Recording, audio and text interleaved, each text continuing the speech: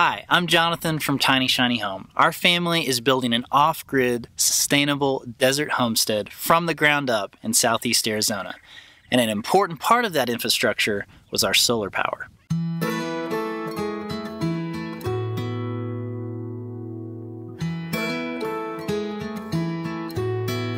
We created a massive 7200 watt, 28 kilowatt hour, 5000 watt, 120 volt solar power system and saved tens of thousands of dollars by piecing the components together ourselves. How did we do it? Well, I'm not going to get into the details of all that here, but we do have a super nerdy, very detailed wiring and install video that you can watch here. Or if you want to know how much everything costs, we have an incredibly detailed cost breakdown video of everything that we bought right here.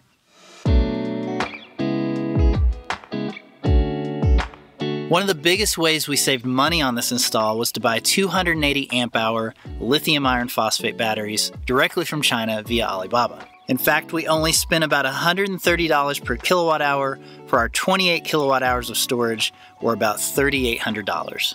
That in itself is a whole other story. Suffice to say that with wait times of two and a half months and a few other sketchy things that took place during the purchase and shipment, we started to worry that we got scammed. Thankfully, our cells did show up top balanced and in pristine condition, so we were able to recommend this route for those looking to save as much money as possible by DIYing their own battery bank. But the biggest issue with the whole thing was the length of time it took to receive those cells. Having to plan two to three months in advance was tough. Guess what though? I got an email from the same supplier I bought my batteries from just the other day, and they had some very interesting information. Apparently, they've seen this pain point and have set up their own US warehouses, and they are stockpiling grade A lithium cells, EVE, REPT, CATL, and you don't have to deal with customs and the wait time because they're already here in the United States. In fact, they told me it would only take three to seven days to receive the battery cells here in the US. That's a huge deal. And after looking at the current battery prices for the cells I bought versus these stateside stockpiled cells, there's barely any difference in cost, just a few bucks per piece. Also, these prices are DDP or delivery duty paid, which means the price they give you does include import duties, customs, and any clearance taxes. Even better, their sales rep Haley told me that if you mention Tiny Shiny Home when placing an order,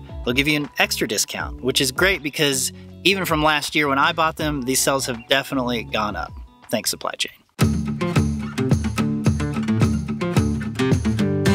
Now, before you leave a comment about how I should only support US based businesses or how everything they make overseas is crap, there's a few important things you should know. The first is that nearly every lithium battery you use and every device you own already comes from China. They're really good at making lithium batteries. The second is that other than Tesla, nearly every US based lithium battery company is just buying these same cells in bulk, adding their own proprietary BMS, sensors, and housing, and assembling here in the States. You're supporting Chinese built lithiums either way, so why not save a ton of money and build them yourself?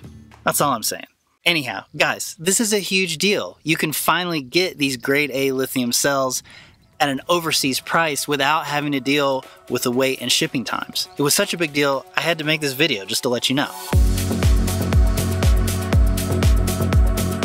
So, if you're planning on building your own lithium battery bank and have been worried about the lead time shipping all the way from China, definitely check out these cells. I'm going to put some links in the description below, the rest is up to you. Now look, this video is not our usual format. We're either doing fun daily videos of our Earthbag build or longer form, more educational videos of what we've learned living off grid. But if you're new around here, we hope that you'll consider subscribing to see what we're up to next. See you soon.